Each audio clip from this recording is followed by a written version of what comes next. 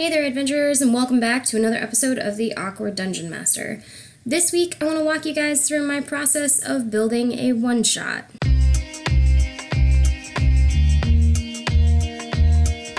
So, every single one of my one shots basically has some little nugget of inspiration that started it all, and for this week, the one shot that I'm building has to do with this little guy. This is a unicorn miniature that one of my friends bought while we were visiting North Carolina, and she just really, really wanted to try her hand at painting miniatures. And they have never played D&D before. So I get this unicorn back from her when they came to visit us a few weeks ago, and it's basically all done up like a little galaxy and she has named it the Universicorn. So I really feel like the one shot that I build when I go back to visit them the next time I see them should be built around the miniature that she did for me. So we are going to build a one shot about the Universicorn. Welcome to the quest for the Universicorn. So, at this point in my dungeon mastering career, for lack of a better term, uh, I have written several one shots. Um, I started writing them for the local convention that we go to every year in October. That's called uh, TsunamiCon. I'll link it down in the description. It is coming up. So if you're anywhere near the Midwest, it's freaking amazing, and you should totally check it out. Uh, maybe I'll run this there. It'd be kind of fun. Uh, but in on their website, they have a little section about DMing at the convention, along with some recommendations for people who are choosing to do so, which also includes one about, I believe it's about time management for one shots or writing one shot games.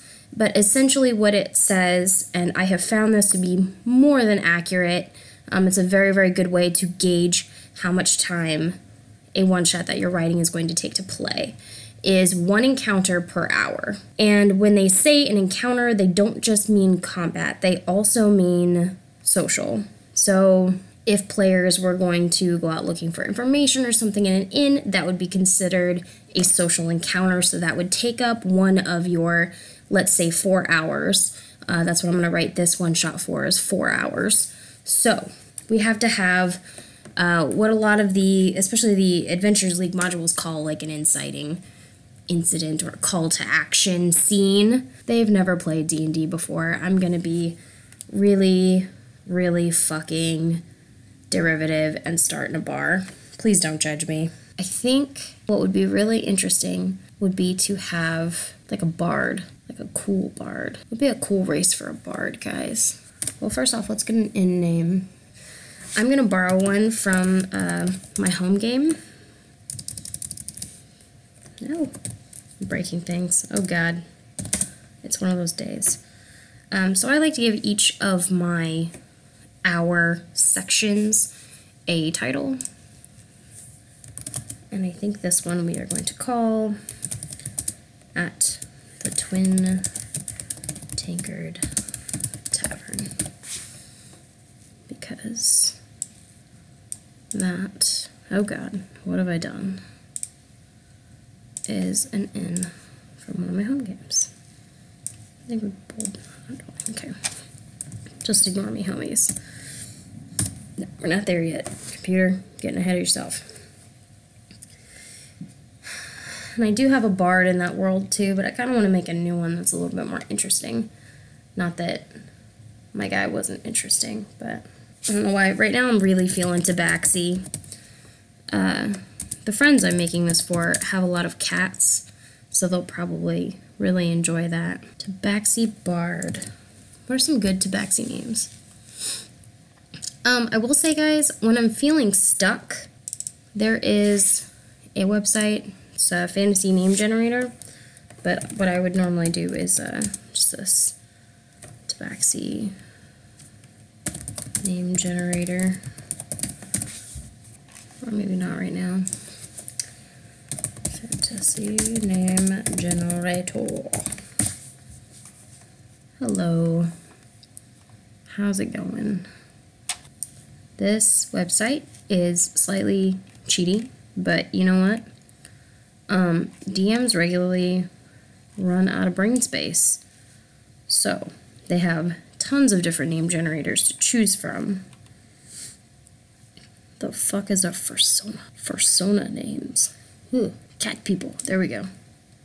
Huzzah. So if we scroll down, it's cute. Uh, I want to male. These are not anything like Tabaxi names that are in. They're nothing like the Tabaxi names that are in the books. So let's come up with something on our own. We can we can do this, right, guys? It's fine. Um. So a Tabaxi bard. Tabaxi typically have names that are like Russell Tree and weird crap like that. River Song. I know that's from Doctor Who, but please don't judge me. Um. Hmm. They're all kind of like nature based and descriptive things. Hmm.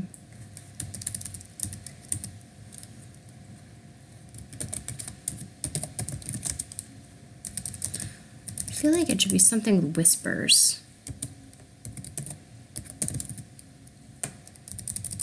Something whisper. What do you guys think? Because that kind of sounds bardic to a degree, so. Wandering Whisperer.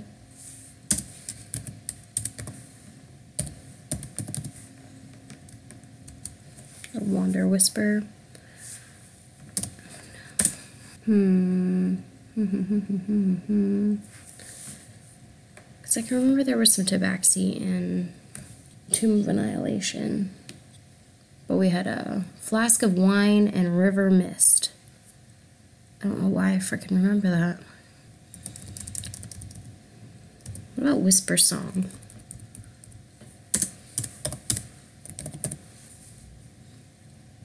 I kind of like that. And that can play into his uh, personality a little bit too. So if we have his name be uh, Whisper Song, just throw this down in PC.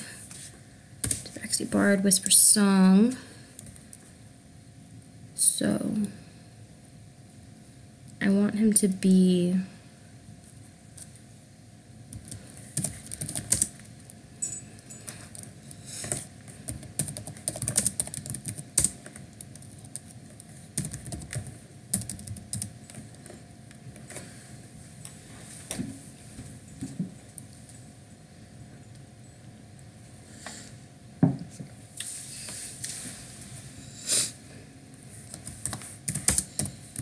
They won't know what a tabaxi is, so I need to put in some more descriptive stuff for them.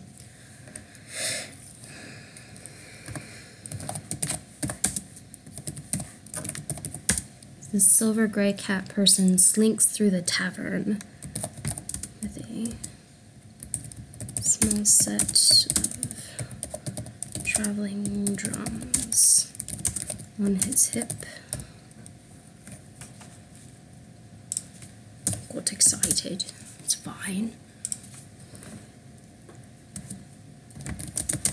And a twinkle in his eye. That sounds fun. Yeah, let's do that. His fur is iridescent under the firelight, reflecting a rainbow of subtle colors. So, the silver gray cat person slinks through the tavern with a small set of traveling drums on his hip and a twinkle in his eye. His fur is iridescent under the firelight, flashing a rainbow of subtle colors with his every step as he approaches the stage. There we go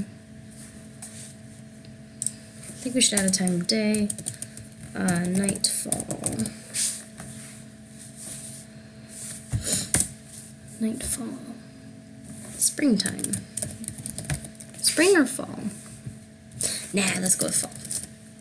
I was always more of a fall time kind of person anyway. We can have the brisk evening air whenever our adventures finally go outside. It will be fine. So this is all read to the players. Um,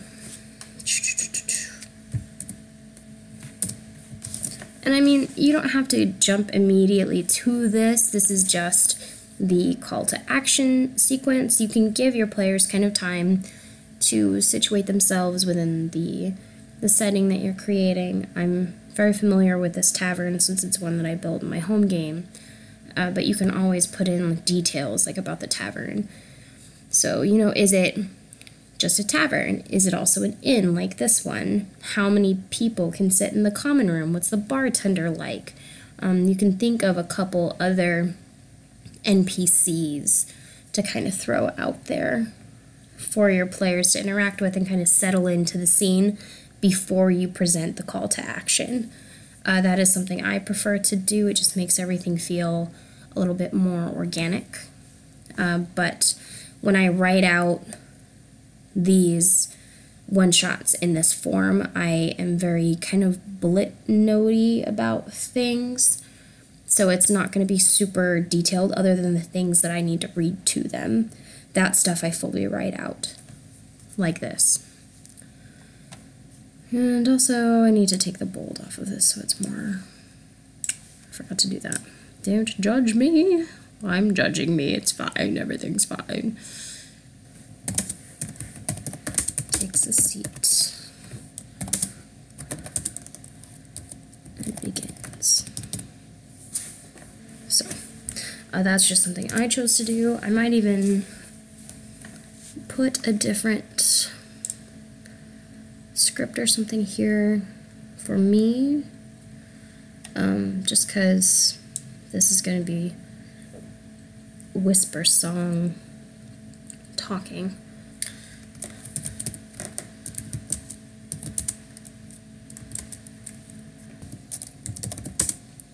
So this is just kind of going to be the the lore of the Universicorn. So one shots are very fast paced.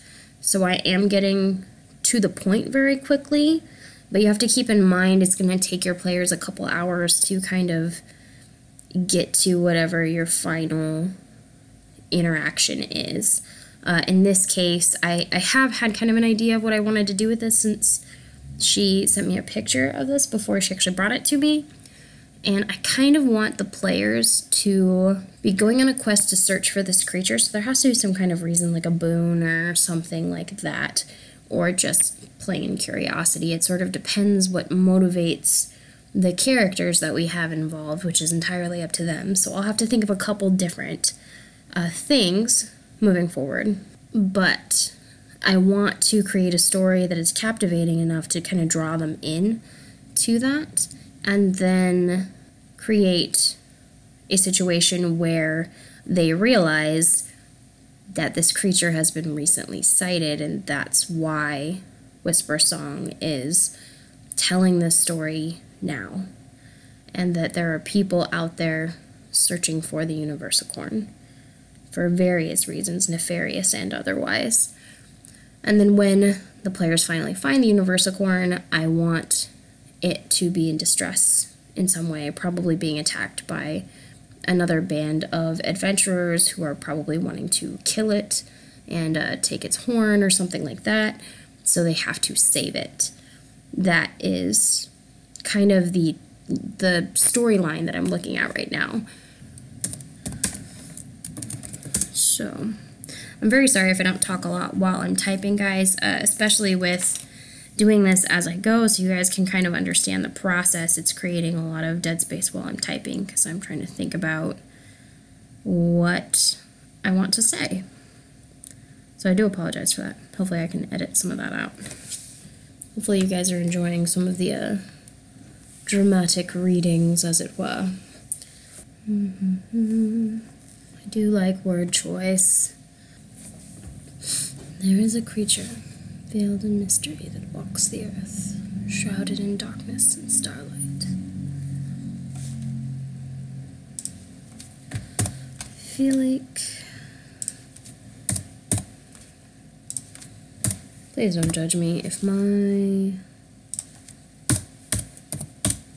punctuation or grammar is awful I just want to write it in such a way that it makes sense to me when I go to read it, which is what you should do too. Um, funnily enough, I always typically tell my players also that when I'm giving them NPC names to write them the way that will help them pronounce them correctly. Because I always have those players who are like, Can you spell that for me? And I'm like, No, just write it the way that you hear it. So that later on, when you need to ask me about it, you can pronounce it correctly so that I know what the fuck you're talking about. Because if you spell it out and you can't pronounce it later, I'm not necessarily gonna know that that is the same person as the one that I made up. So, random hint uh, tip buried in this video for you. Please enjoy. but yes, uh, writing things as a DM is much the same. Write them in such a way that it will make sense to you later. You are doing yourself a favor. Don't ever repeat this. Fuck grammar. There's a creature veiled in mystery that walks the earth, shrouded in darkness and starlight. It is said that she has the power to grant a wish to one of pure heart. Many have sought her for this purpose, but she is ever evasive. So, and um, I do want to say also, like, I deliberately picked phrasing matters. So, by using, you know, shies away from humanity, I'm inferring that this creature is not necessarily of the material plane. She is something other than. So even like clearly she's a very special unicorn, but she is very much other. So, word choice really fucking matters. Please think carefully about the words you choose to use when talking to your players. Uh, that is also a double edged sword because sometimes I'm talking to my players and they're like, What did you mean by that? Because I am somewhat notorious for being subtle. So that kind of every now and then when my players pick up on something that's subtle but maybe not necessarily intentional on my part, they will occasionally latch onto it and think that it means something. Just kind of funny to me. like, guys, it's fine. I feel like that needs to be like part one. Part un of this uh, story. trying not to get too wordy, but I also want to get enough in there that sparks the player's interest. So, slight intro to the creature then maybe something kind of nefarious to uh, round that off. So, the idea here is that he tells this short little story, and it is both intriguing and slightly dark, but not. I just want to make it clear that this creature is one that very much takes in the energy of the things that are around her. So I kind of want to foreshadow the fact that when when she is surrounded by people who are good, her intentions are good, her magic is good, and she is a creature of light. But then when she is surrounded by pain and suffering and evil, she is a creature of darkness. So I kind of want to play on the fact that the Universicorn kind of partakes of both sides. The intention is good. So, um, think think of the Universicorn as like a magical empath, taking on the emotions and energy of the things around her. I think that's kind of a cool concept. Hopefully, you guys do too. Um, but it also has the potential for some kind of chaos later on and I really like that. So, what we have so far for Whisper Song's story there is a creature veiled in mystery that walks the earth, shrouded in darkness and starlight. It is said that she has the power to grant a wish to one of pure heart. if they can catch her. Many have sought her for this purpose, but she is ever evasive and shies away from humanity. The Universicorn has a bloody history as well. Many dark men have endeavored to use her gifts for ill or to imprison her with magic. She is a creature of spirit and energy, and in these moments of pain and suffering, she can harness and unleash a darkness so raw that it destroys the world around her. So beware, as the saying goes all magic has a price.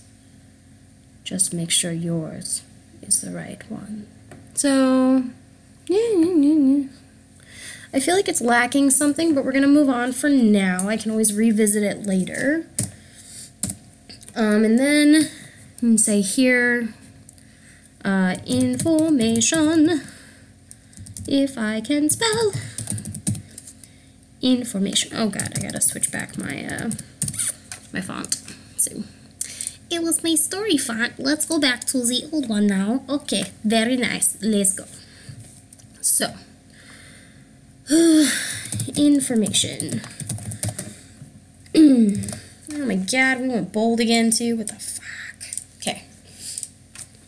So if the players approach Whisper Song, which there are ways that you can kind of steer them in that direction. Um, I know a lot of people are just going to be shouting railroad, railroad. Uh, but truthfully, most one shots are very railroady, so you kind of have to come to terms with that if you're going to be running a one shot. So, bear with me. It's it's going to be a little railroady. There are ways that you can kind of uh, dip around that to make it feel more natural. Uh, I was playing a game with my friend uh, Eric, who runs the local convention, and he uh, he said something very funny on Sunday about rails and games. He says, "I like to hide my rails under the sand," and I think that's a perfect analogy. So thank you, Eric. Let's work on hiding those rails under the sand. Um, so what I mean by that is the players can or cannot choose to approach Whisper Song after he is done with his little song and dance. Uh, ha ha ha, see what I did there? But if they choose not to, you can very easily have the players over here, uh, some people at the next table over, talking about uh, someone nearby who said that they saw the Universicorn. So there can be some rumors around about actual sightings of this creature, which will then, you know, hopefully drag them in that direction. And again, if it doesn't, you can then have Whisper Song pop over and engage those individuals. And uh, even if you can just kind of drag your players into it if you need to, if they're listening, you can ask, hey, is anybody kind of listening to this conversation as it goes on? And if somebody says yes, you can be like, River, I mean, a whisper song makes eye contact with you and kind of motions you over. Uh, so there are ways that you can draw them into that action if they're choosing not to engage with it that hopefully don't feel too forced. So just kind of be thinking about those things as your players start to play, uh, especially if it's like these are people I know, so I kind of have a general idea of how they're going to react to things, but you don't always. Like when I run at cons, I feel like I really have to be on my feet because there are sometimes where I'm like, it was right there. You didn't go after it. Uh, fuck me. Uh, how do we get this back on track? So, that is a skill that DMs kind of develop over time.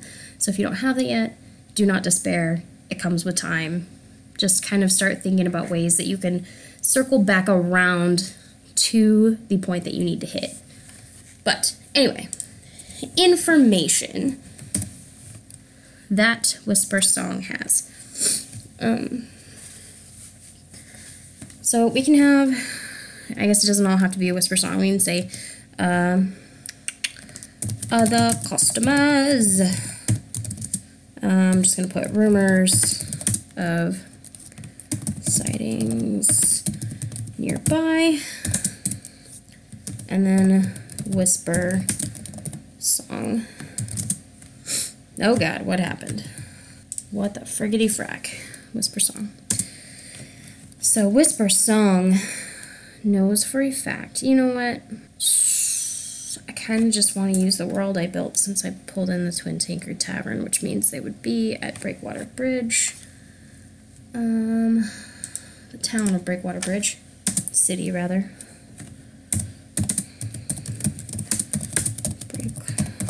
Breakwater Bridge. Yep. Okay. Um, mostly because I want to say that um, confirmed sighting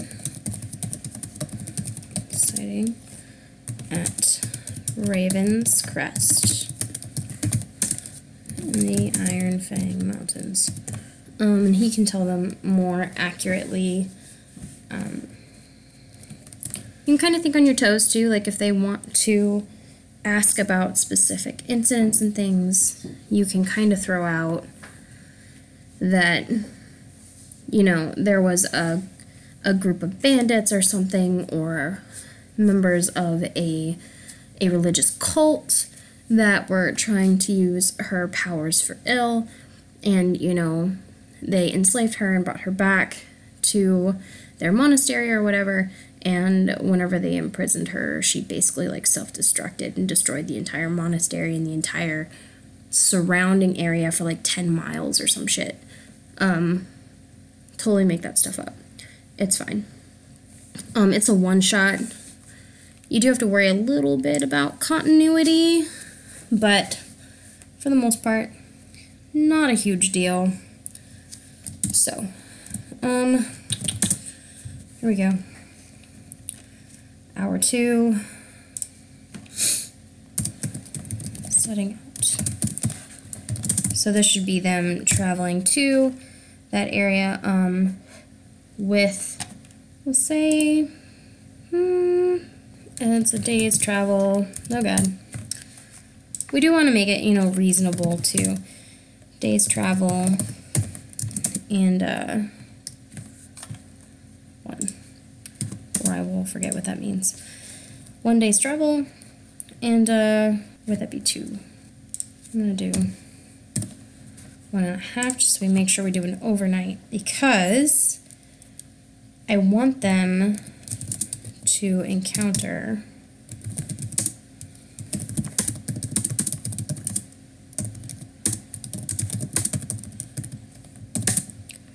I want them to encounter some other adventuring group.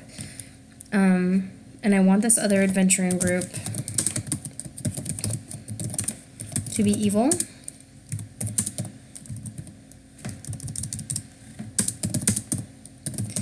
And the players can either choose to engage or not. Doesn't really matter to me. Um, they can share their fire. Um, let's change this to as they look to make camp. So we have the possibility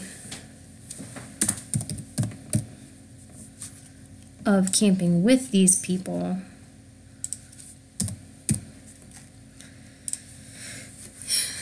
So now I want to kind of build a contingency. Um, they talk with the other adventurers.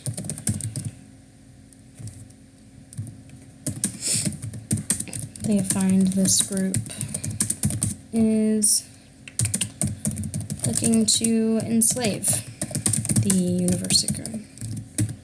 Universicorn. Universicorn? Very nice, very nice. Okay. Okay. Um, but in the morning,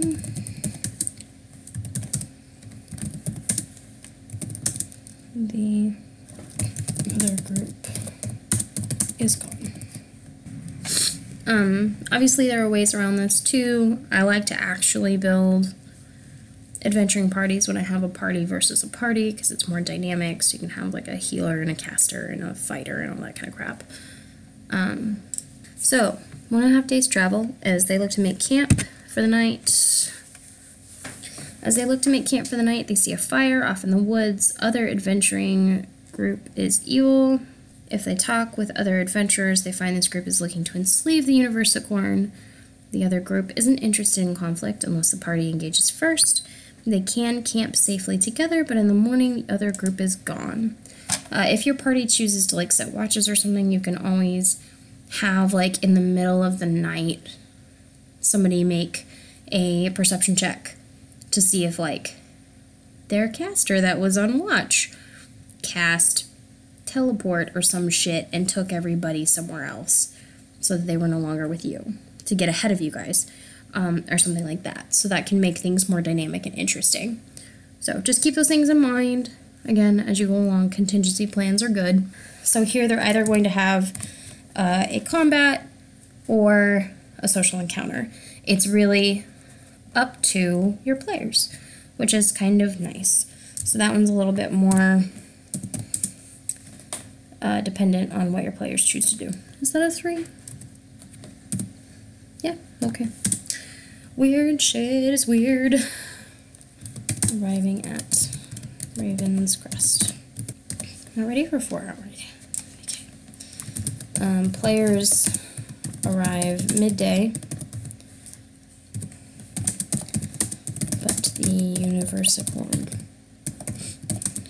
will not appear until nightfall. Uh, if the other party got away, there is a 10% chance. I'm just picking a number because I want it to be kind of low. I would really much rather the other group find the Universicorn first, um, but I do like to keep things a little bit fluid because um, that guarantees if I ever run this adventure again with a different group of people, it's not guaranteed to go exactly the same way. So I kind of want to keep things fresh and fluid, and I still want my players to be able to affect parts of the story, but continue on in the direction that I want, if that makes sense at all. So, 10% chance of running into them.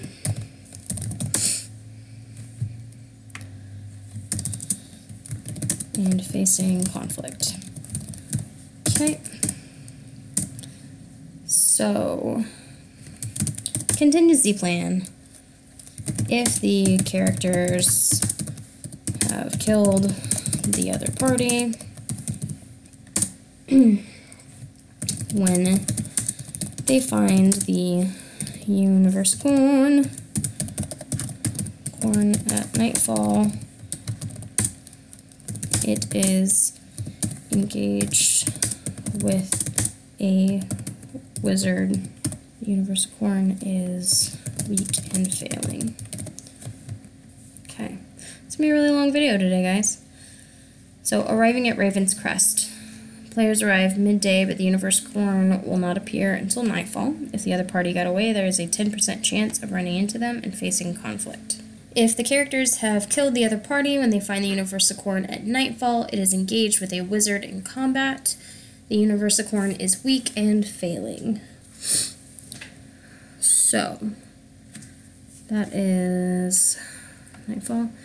Um, hmm, I actually kind of want to make this the final thing. So we're going to do that. Search the woods slash ruins.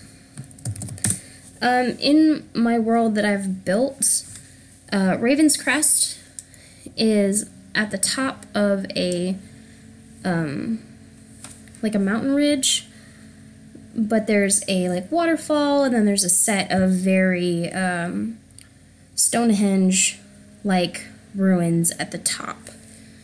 So it's kind of a like a destination-y, campy sort of spot within the world, but it's also a nice point of reference and an easy place to have um, stuff happen. So I do, I am really fond of that feature within the world I built. So I like to use it for stuff every now and then. So, search of the woods and ruins. We'll say DC DC 10. They find Let's say they find some, um, not hieroglyphs, what am I thinking of? Like cave painting type inscriptions on the ruins um, that are new and inlaid with an iridescent. The, the depic- depictions illustrate a darkened unicorn. Just a really easy one for people to find. Um, passives, I'll find that. And if we add in a DC 15 and a DC 20, sorry, I decided to change it. Um, just decided on a whim right now that the Universicorn really likes to like moonlight bathe. You know how like some animals will sunbathe? I think it totally makes sense that a Universicorn would moonbathe. So, within the ruins, under a section that's centralized within the ruins under section open to the sky or a DC 20. this almost guarantees that your adventurers are going to find something.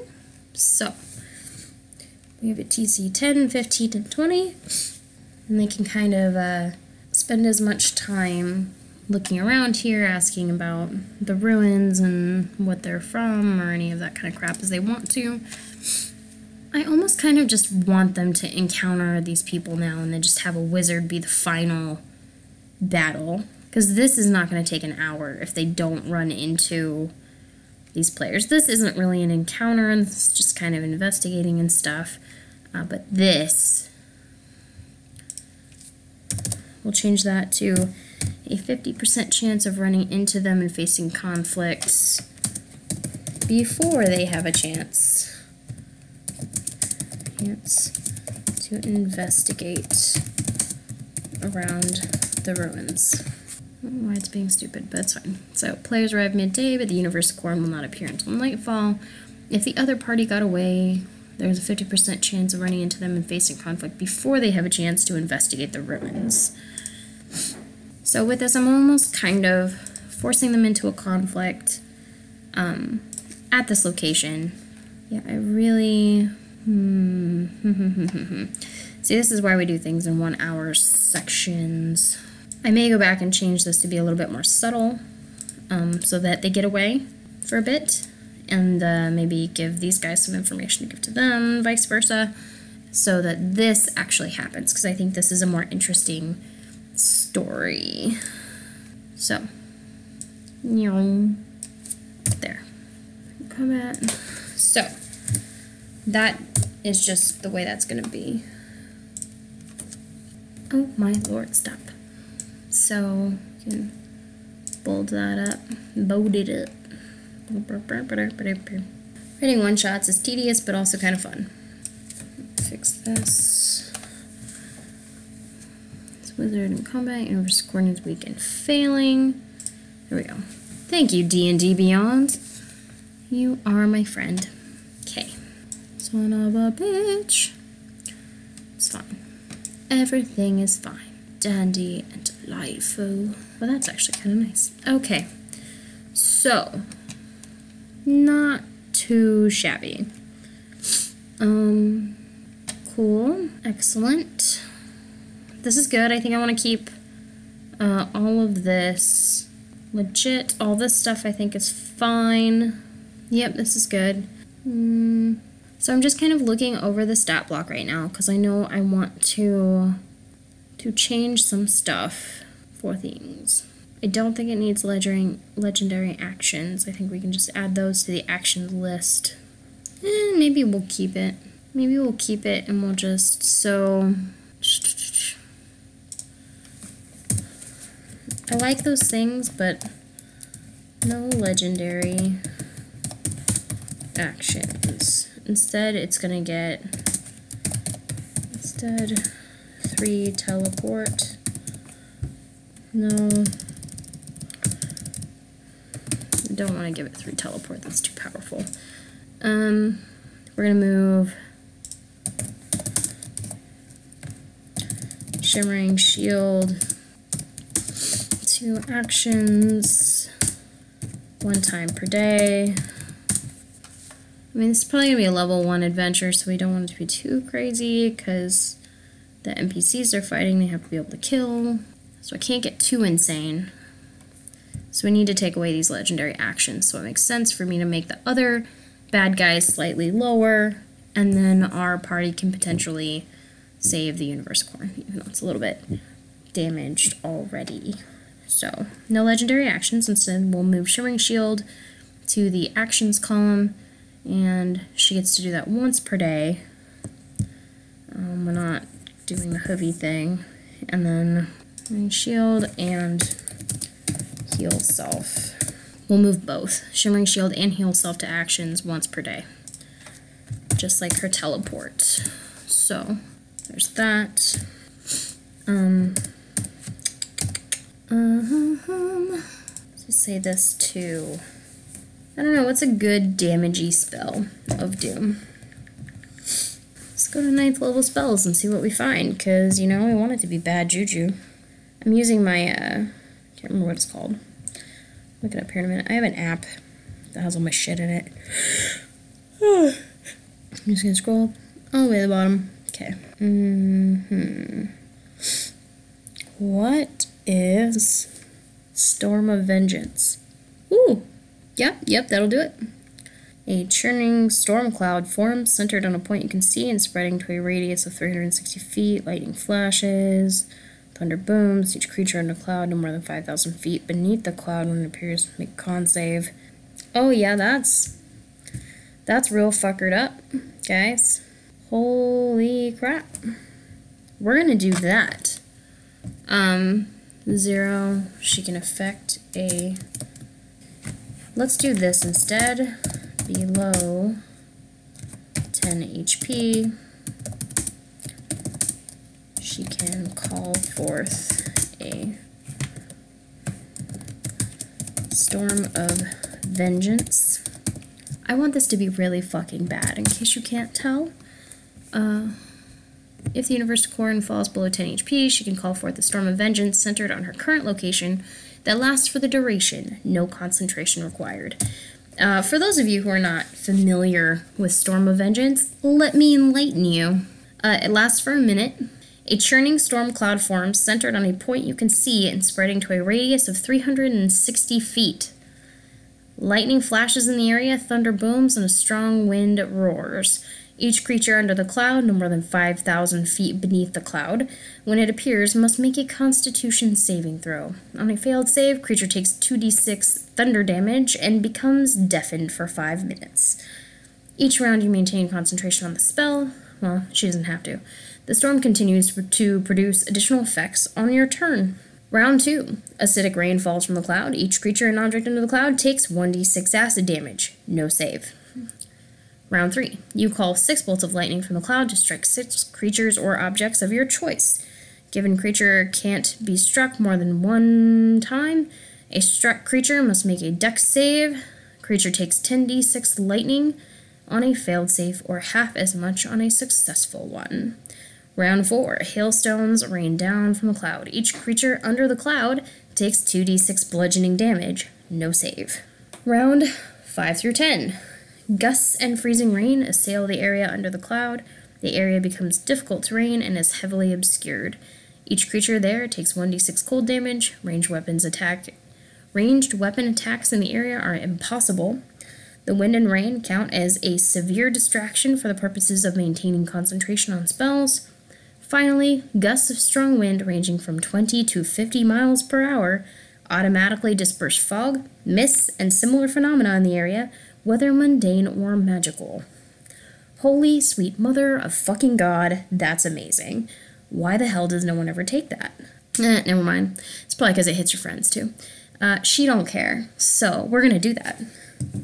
And um um um um with that, I'm probably gonna up all of my homies to level three characters, uh, which will make this entire adventure way more interesting. All of a sudden. Oh man, it's gonna be great. So I'm gonna put that at the top. Level three characters.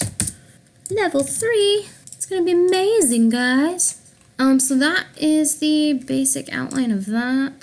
Let's take a look at this. Yeah. Then I should be able to, I think there's to be three, three or four people playing when I run this for my friends.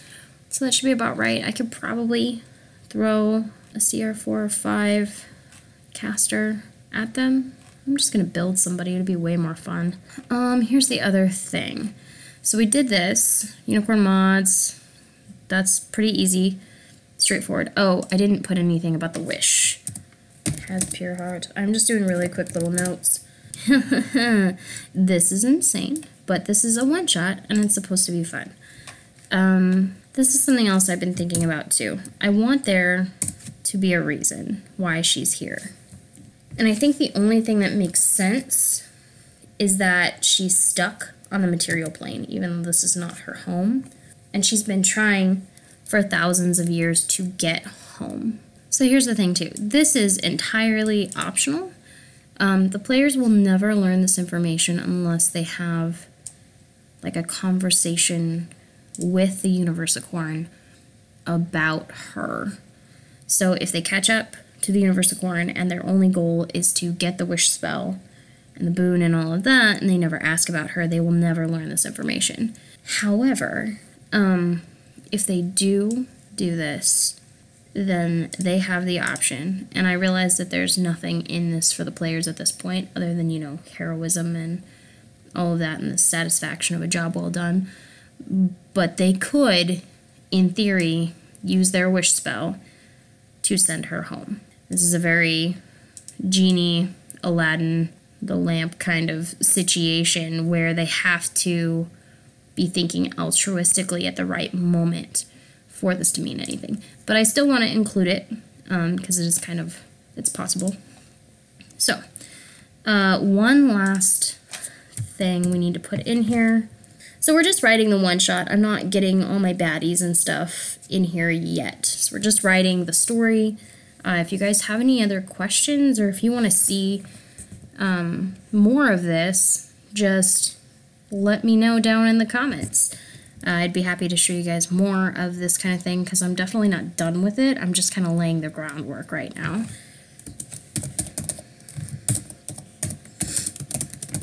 So, oh my god, I can't do anything. Unicorn lair. So there was some stuff in the uh, unicorn stat block about her lair also. That's pretty cool. Yeah, I think we're just going to do a bunch of these. So we're going to do that. I'm just control copying from the stat block at this point. Um, just so I have them readily available. This is not going to be, I don't want that. That's silly. But all of this I think is pretty cool. Um, maybe not the curses. It's not really relevant for a one shot. So we'll do that. Um, so good line creatures, healing spell thing, and non-magical fires, and this. Because if they let her die, they should have to feel that pain. So here we go. And so anyway, this is the whole thing for the basic outline. So we have at the Twin Tankard Tavern, City of Breakwater Bridge. It is nightfall in the fall time. Uh, so this is where we introduce Whisper's song and the kind of lore of the Universicorn, and there's some ways for them to overhear some rumors, and uh, if they go talk to Whisper, they'll hear kind of about where the Universicorn was sighted nearby recently, which is why he's telling this story, that's how he makes money. And then um, you can kind of talk around and get the characters in the right direction if they're not following it. Uh, but then the next day they will set out and they will encounter another group of adventurers. Uh, this engagement with this other group, the other group is meant to get away. So you're the DM, make it happen. Then they arrive at Raven's Crest and they can kind of look around at which point either before depending so you you'll make a roll it's a 50% chance you decide how you want to determine that 50% chance of them encountering these other people already investigating the ruins, or 50% chance that they will accost them whenever they try to follow the path up to the top of the mountain where the Universicorn is. Uh, the Universicorn will not appear until nightfall, at which point they will encounter her already engaged with a wizard that got there first. Um, and she is on the verge of dying. Now, keep in mind, if she falls below 10 hit points, this bad shit happens.